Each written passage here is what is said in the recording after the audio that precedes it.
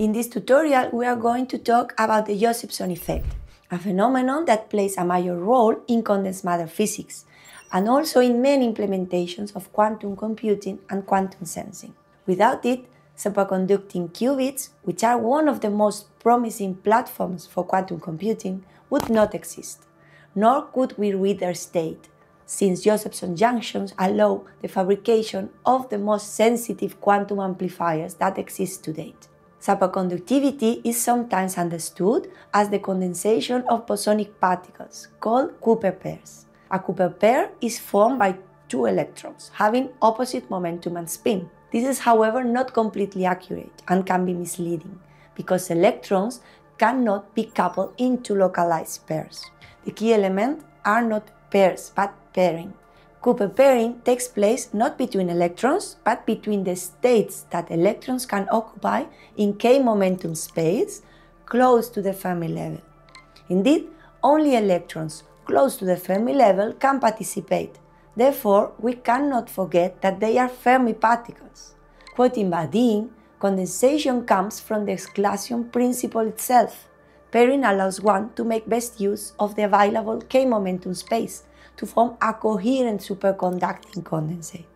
The transition to the superconducting state arises from a spontaneous breaking of the symmetry, characterized by a complex order parameter with non-zero expectation value in the order state. The order parameter has a well-defined but arbitrary phase, theta, that, as we will see later, is not gauge invariant and cannot be measured directly. The modulus squared of the order parameter represents the density of Cooper pairs. The resulting condensate can be well described as a coherent state. The latter is a superposition of number states with indefinite number of particles. Indeed, the coherent state forms a Poisson distribution in the number state basis, although the mean number of particles can be fixed, defining the density of Cooper pairs. On the other hand, this state is characterized by, a well-defined phase, theta, and is typically used to describe the radiation field of lasers. It is precisely phase coherence which allows lasers waves to interfere with themselves. The superconducting condensate is also phase coherent and can also interfere with itself by virtue of the Josephson effect, as we will see later. Superconducting materials are well known for conducting electricity without losses. Although this property is remarkable, it is not the only peculiar characteristic of superconductors. Phase coherence imprint much more profound consequences that we will review in the next. 1. The Meissner-Ochsenfeld effect. This is maybe the uttermost macroscopic property of superconductors. When a superconducting material is cooled down below its critical temperature in presence of an external magnetic field, it will expel the field from its interior during transition. This is true except for a small material-dependent region called the London penetration depth, where shielding supercurrents are allowed to flow. This behavior cannot be simply explained by perfect conductivity. 2. Perfect conductivity. Resistivity in normal metals comes from the scattering of electrons with lattice vibrations that we call phonons. The total energy of the electron might not be conserved after each scattering event, so that in the presence of an electric field, electronic current yields energy dissipation in the form of heat. If the electric field is switched to zero, the total current goes to zero as well. In superconductors, electrons also suffer from phonon scattering events that change their momentum.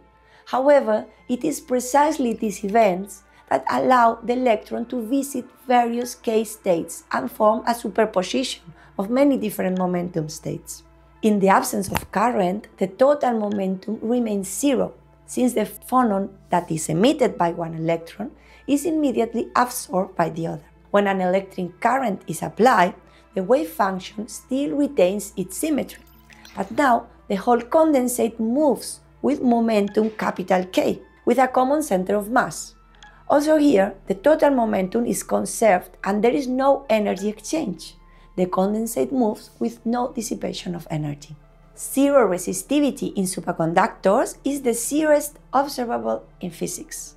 This has important practical consequences if you work with superconducting thin films, with thickness comparable to the London penetration depth. The fact that superelectrons are charge carriers with perfect mobility brings an important role to the concept of kinetic inductance, since it takes a finite time to accelerate particles with mass. The kinetic inductance is inversely proportional to the cross section, therefore, it is negligible in superconductors much thicker than the London penetration depth. However, it might become relevant in thin films.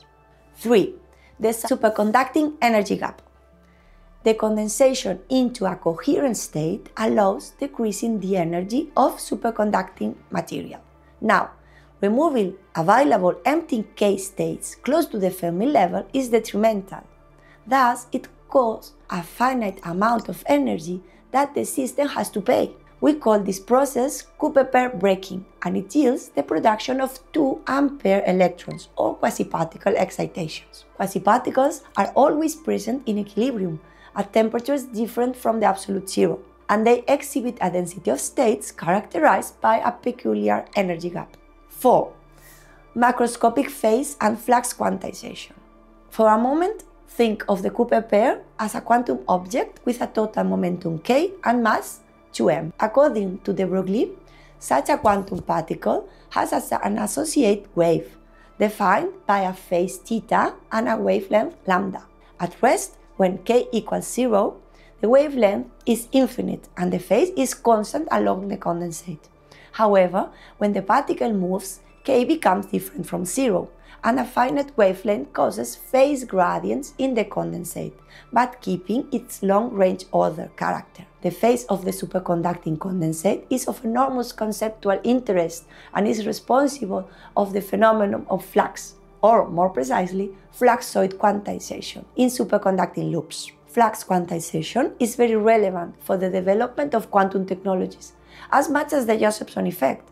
Therefore, let's devote a few minutes to understand this concept we have seen that supercurrents induce phase gradients in the superconducting condensate, and phase gradients induce supercurrents. But currents in superconductors can also arise from a magnetic field. Indeed, in writing the Schrödinger equation of a charged particle in a magnetic field, we must take into account its kinetic momentum, with contribution from the canonical momentum and the vector magnetical potential A. Both theta and A are quantities that have a physical meaning but cannot be observed experimentally.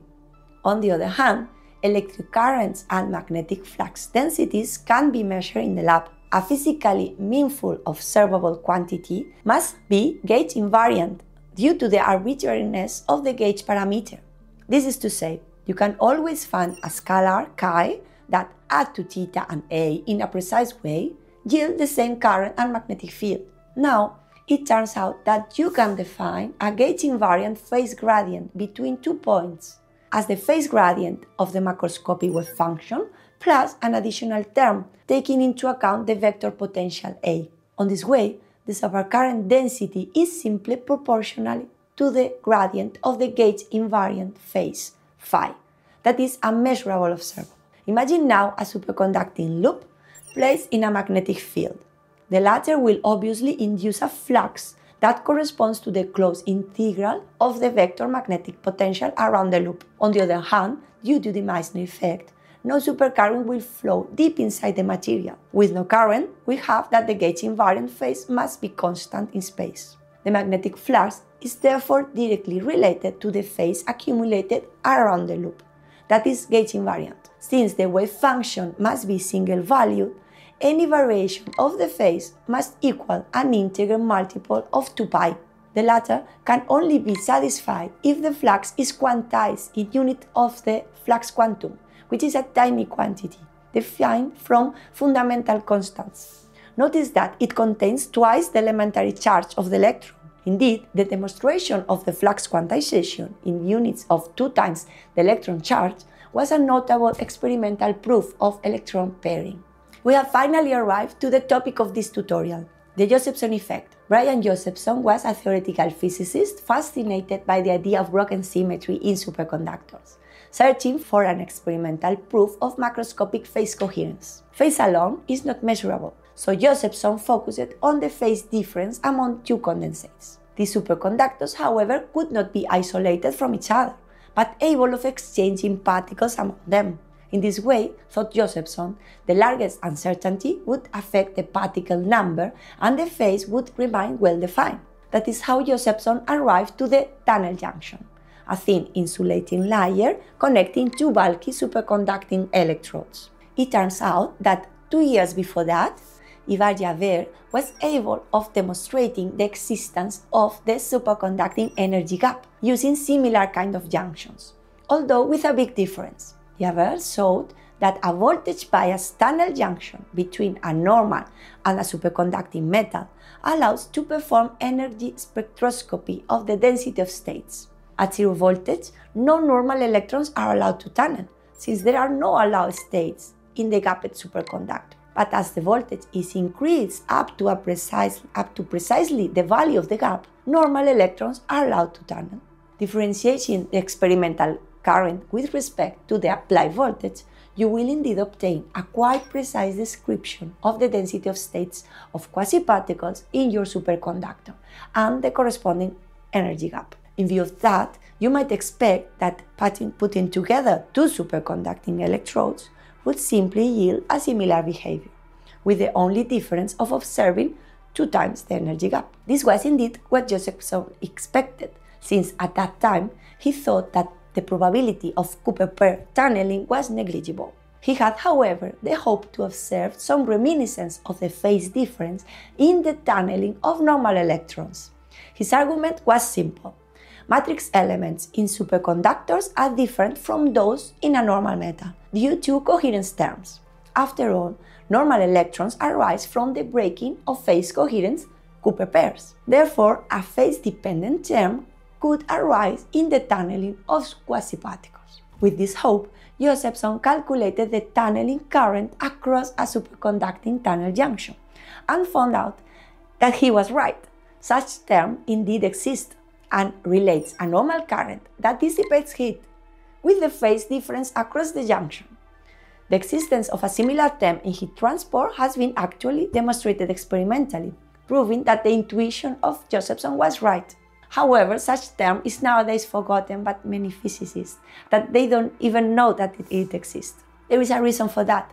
Josephson found an unexpected term that has attracted the attention of many researchers since then. According to the first Josephson equation, a non-dissipative supercurrent can also flow through the weak link, even in the absence of a bias voltage, as long as there is a phase difference between the electrodes. This current is a periodic function of the gauge invariant phase difference across the junction, with maximum value given by the maximum critical current, I sub 0. In an ideal Josephson junction, the dependence is sinusoidal, but more complex periodic functions can also be found. I sub 0 is the maximum supercurrent that a junction can withstand since larger currents yield Cooper pair breaking. The critical current can be estimated from the normal state resistance of the junction and the temperature dependent superconducting energy gap, thanks to the Ambegaokar-Baratoff equation. Now, it turns out that applying a voltage difference between both macroscopic condensates has very relevant consequences as it makes the gauge invariant phase vary over time. This is the second Josephson equation, or AC Josephson effect, that reflects a temporal interference of the phase.